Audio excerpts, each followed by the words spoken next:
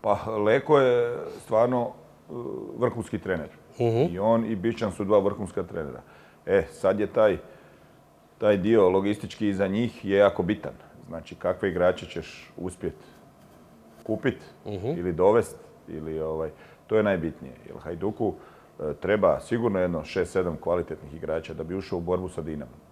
Znači, što se tiče, velim, trenerske struke, oba dva su jako dobri treneri. E sada, treba imati igrače. Za taj level trebaš imati igrače. Ne možeš ti, možeš ti pumpat atmosferu, možeš ti napuniti stadion 20.000, 50.000, sve super. Ti nemaš i kvalitete.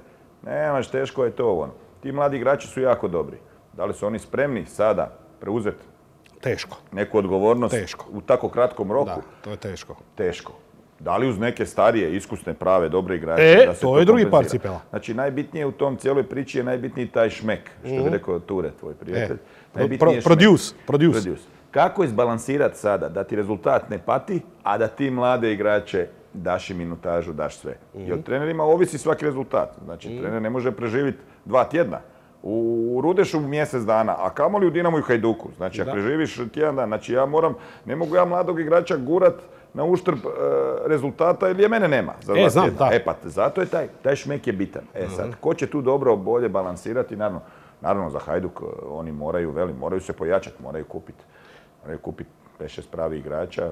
jel- Da bi, da, da bi Da i u ovakvoj situaciji bili konkurenti. Tako je, Dinamo tako ugrozili Dinamo. tako Mislim da to sam tako mislio. U redu. a,